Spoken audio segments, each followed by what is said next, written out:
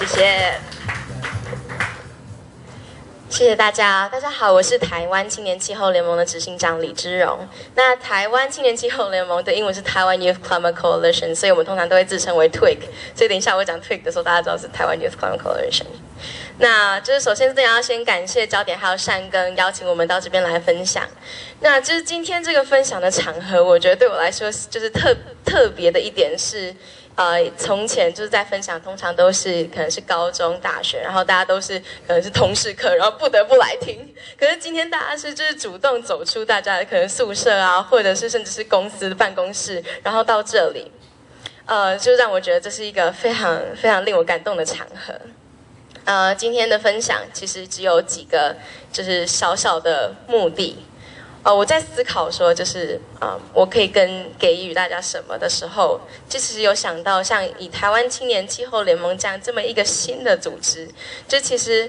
嗯，能够给的可能也不多，但是就是呃，我们行动为什么行动，然后这些行动是怎么开始的？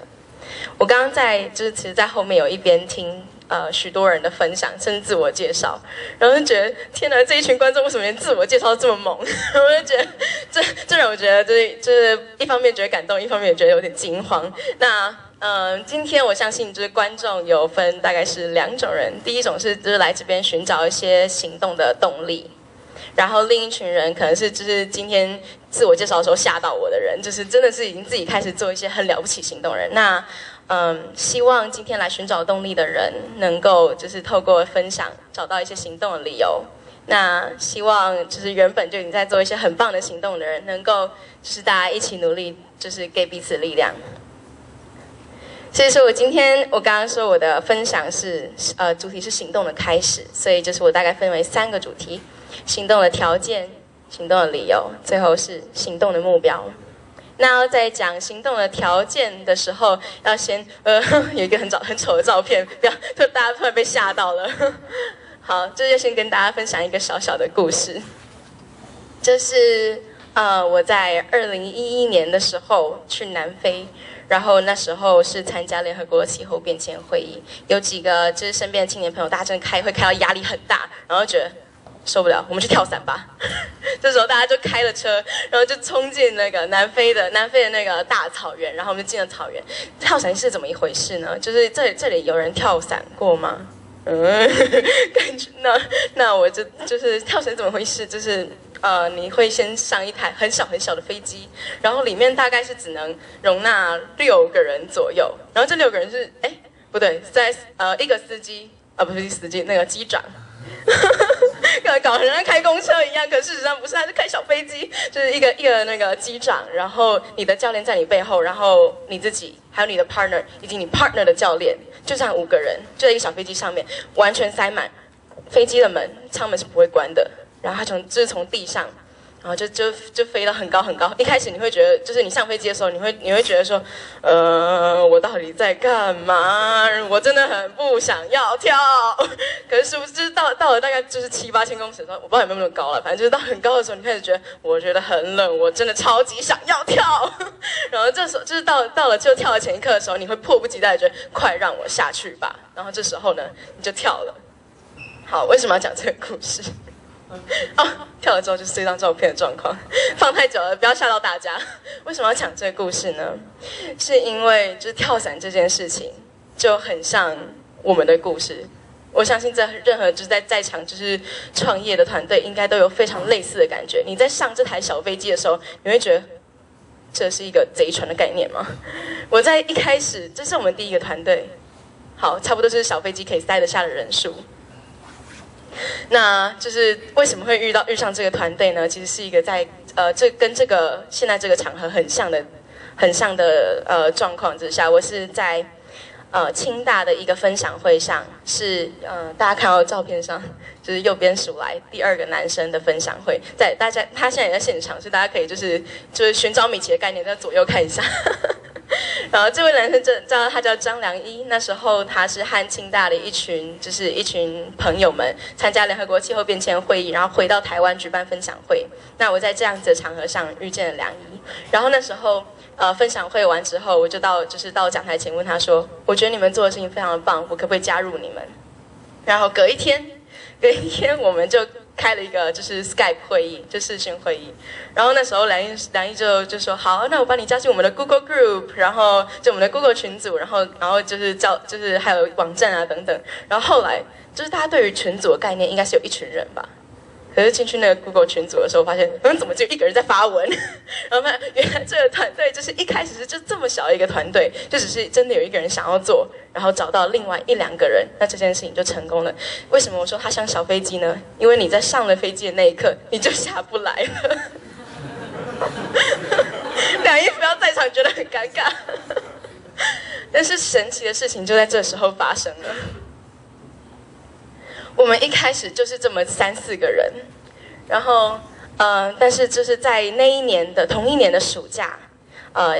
有另一个英国的青年伙伴来到了台湾，那大家可以在小红书上寻找这位青年，英国青年，诶，是不是有点你一晃来晃去，我是挡到你了吗？就是这位英国青年，他图片上他穿着台湾的国旗。那为什么就是这位英文青年叫 Danny？为什么 Danny 会穿着台湾国旗呢？他告诉我们，他原本是一个医生，但是因为一位台湾的女生，就是在他读医学院的时候，不断的告诉他气候变迁、全球暖化这件事情，让他投就是放弃医生这个职业，投入气候变迁。那大家可以想象，就是你这样一个人影响下一个人，可以造成的蝴蝶效应有多么的大。那 Danny 就是在那一年，二零一一年的时候来到台湾，然后。呃，带着他在英国青年气候联盟的经验，然后到台湾聚集了一群能呃一群力有力量的青年，然后我们这才在那一年成立台湾青年气候联盟。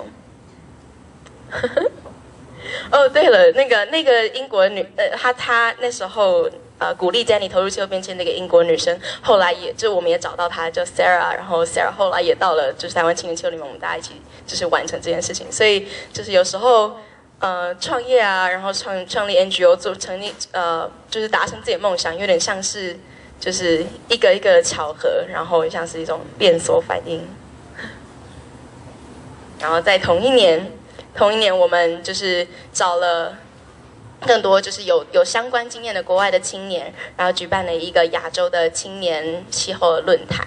但是，然后，嗯，就是那一那一年，我觉得有点有点有趣的是，为什么我说呃。我说我分享是行动的条件呢，因为事实上我们真的没什么条件，就是也没什么钱，然后就莫名其妙邀请一些国国外的青年到台湾来分享，就只是因为我们真的很想做这件事情。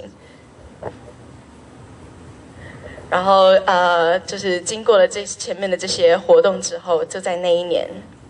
就到了南非的气候变迁会议。然后大家可以看到，就是上面有个客家花布，这是我们在那一年的会议的时候，就是有许许多多在当地在参加这个会议的青年与我们一起拼凑出来的。然后我我很想要一一边讲一下这些其他青年的故事。嗯，在澳洲有一个组青年组织叫做澳洲青年气候联盟 （AYCC，Australian Youth Climate Coalition）。他们怎么开始？他们是两个女生，就两个女生哦。就是组织了一个一个这样子的 NGO。现在澳洲青年气候联盟他们可以做到什么事情？他们可以做到让他们的政府停止，让他们政府不要去投资那些化石燃料的发电厂，而转转而使用发转转而使用再生能源，这是他们现在可以做得到的事情。而英国青年气候联盟他们在欧洲地区都能够就是有一些培训。呃，培训其他欧洲的青年去参与气候谈判，然后更我觉得更有趣的是，美国美国有一群人叫做 Three Fifty dot org，呃，现在就是其实台湾梁也在 Three Fifty 工作，就是 Three Fifty 这一个组织，他要做什么事情呢？他们能够就是他们透过呃。就是鼓励他们的学校不要使用不要使用那个化石燃料，或是鼓励把学校鼓励他们的学校，他们是一群学生，鼓励他们学校把他们的就是学校的资产，就是抽离那些呃化石燃料工厂或者化石燃料的发电厂，而就是造成这这呃造成这些呃发电厂的倒闭，是不是讲的话有点不顺啊？对。然后就你就会发现，原来国外青年做到这么多的事情，为什么台湾没有一个属于我们自己的青年组织？那就是在这样子的状这样这样子的激励之下，我们回到回到了台湾。然后尽管我们真的就是什么条件都没有，我们还是在二零一二年的时候正式立案。这是我们第一次的会员大会，大家可以看到，就也许有，就是也许许多就是基金会会员大会是在就是什么圆山饭店，然后就是吃的很好，我们是在客家小炒店，然后嗯，就是呃，就我们就就纯粹是靠着梦想的勇气，然后就就成立了这个组织这样，所以嗯，第一个部分我要说的行动的有行动的条件呢，其实没有什么。就只是大家闭上眼，纵身一跳的勇气而已。然后他的英文我非常喜欢，他的就是那个英文翻译就是 a blind leap of faith。其实呃，开行动的开始需要的条件不多，就是 a blind leap of faith。好，这是四分钟，剩下四分钟的意思吗？没错。天 想三分之二。好，无论无论如何呢，就剩剩下四分钟，我还是要讲一下气候变迁，因为就是行动的理由嘛，就一定要就是趁机植入性行销一下 气候变迁。为什么？就我们行动的理由是气候变迁，但是气候变迁还是要多讲一点。就是大家知道，现在现代大气中，我们安全的二氧化碳浓度应该是在三百五十 ppm，但现在大气中二氧浓二碳二氧化碳浓度是多少呢？请回答。三百八十七，很好，大家都非常懂得看上面的提示。可事实上呢，这是一个以前的数据，所以事实上现在已经超过了四百 ppm。但是我们要维持我们的温度上升在两度 C 以内的话，我们其实现在已经就是濒临了呃濒临了一个临界点。我们如果要呃能够控制温度在两度 C 以内，我们只剩下五百六十五一个 tons 的二氧化碳可以排。那就是这么困难的一个一个这么一个艰巨的任务，国际上是怎么处理这件事情呢？假设我们还可以排这么多的二氧化碳，这么多的 quota，很高兴大家现在还有在认真听，就是数据忍受一下。这假设我们还有这么多 quota，联合国怎么处理这件事情？他们放了一个 cap，然后把这些把我们可以排放的排放二氧化碳量一一的去做分配，然后呃把它当做一个一个的 credits，就是一个一个的碳的那种呃。好，这是 credit，不要不要不要逼我翻译它。然后在国彼此国家之间可以去做交易。那这交易过程中呢，能够得到的想得到碳权人可以得到碳权，想要得到金钱的人可以得到金钱，然后你想要得到技术的人可以得到技术。听起来是一个非常完美的制度，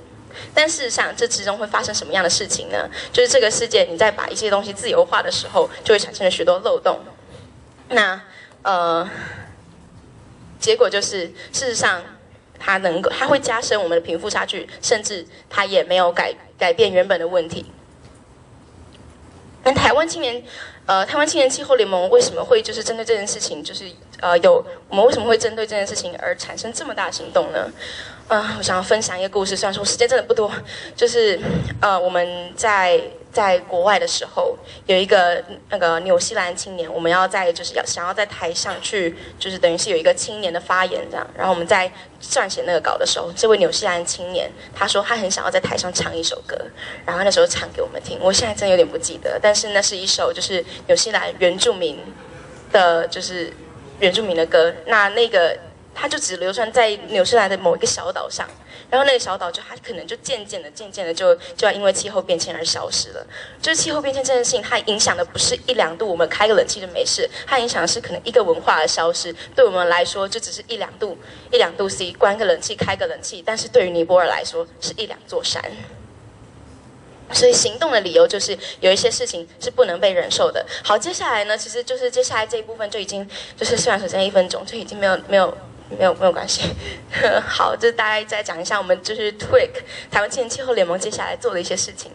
我们透过就是参与联合国气候变迁会议，然后不止改变青年，我们就渐渐的也能够真的去改变这个会议。那就是去年我们和孟加拉，孟加拉是一个还受到这气候变迁非常影响深刻的国家，和孟加拉一起举办的一个会议，然后呃就在讨讨论当地就是受到呃就是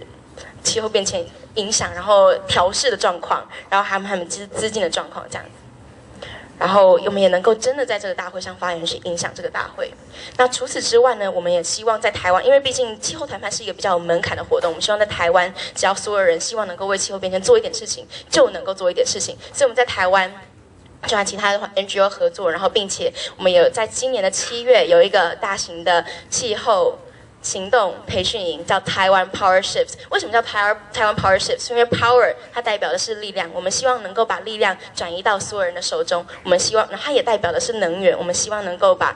不干净的能源 （dirty energy） 把它转换成为干净的能源，所以叫台湾 Power Shift。